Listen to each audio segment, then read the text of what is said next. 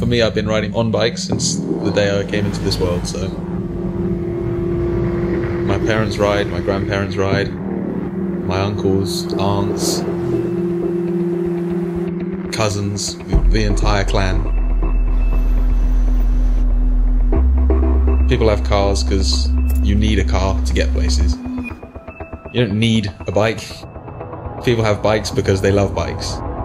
So you always have this connection.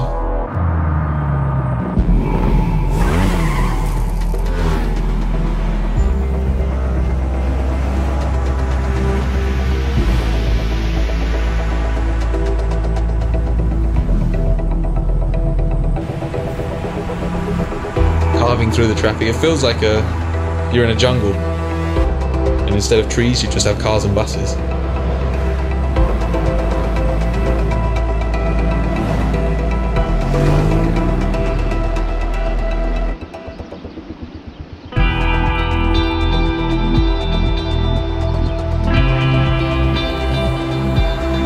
Once you get to that level where it becomes your whole life, it doesn't really matter so much what the sport is. Your, your mindset's very similar.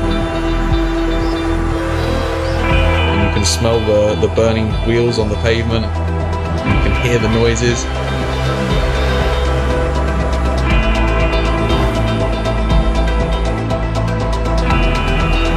You have that fear, and then when you get out the other side of the fear, it's the best experience in the world.